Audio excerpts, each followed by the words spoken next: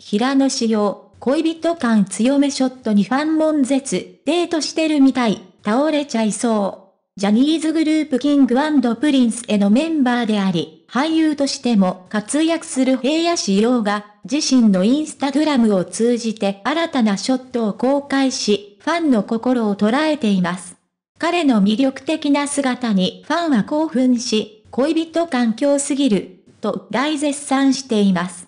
今回の記事では、平野仕様の最新ショットについて、反響の背景やファンの感想を探りながら、なぜ彼の存在が多くの人々に愛されるのかを探っていきます。平野仕様は、30日に自身のインスタグラムに、皆さんいかがお過ごしですか？夏、初すぎませんか？昔こんな暑くなかったですよね、というコメントとともに、7枚のソロショットを投稿しました。白い T シャツにデニム、白のスニーカーというラフなスタイルでカフェでレモネードを飲む姿や、淡いブルーのサングラスをかけてカメラを見つめる姿、パスタを前に満面の笑みを浮かべる様子などが収められているようです。この投稿に対して、ファンからは熱狂的な反響が寄せられました。特に、平野仕様が見つめる表情に、恋人環境すぎるという感想が多く見受けられました。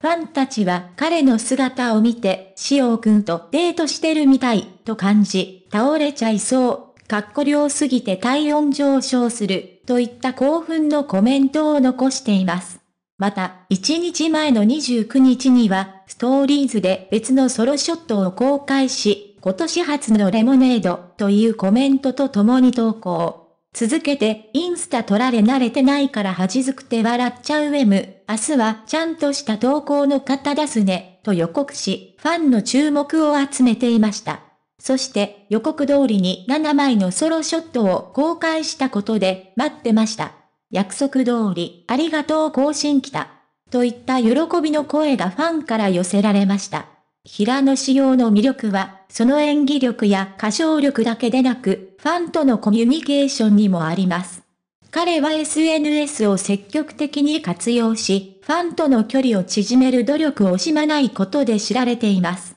ファンたちは彼の素顔を垣間見ることができるため、彼に対する愛情と共感が深まっているのです。平野志陽が最新のショットを公開し、ファンの間で大きな反響を呼んでいることが分かりました。彼の魅力的な姿によって、ファンは彼とのデートをイメージし、彼に対する愛情と興奮を表現しています。平野仕様のファンとのコミュニケーションの取り方が、彼の人気の一因となっていることも明らかになりました。今後も彼の活躍に注目が集まることは間違いありません。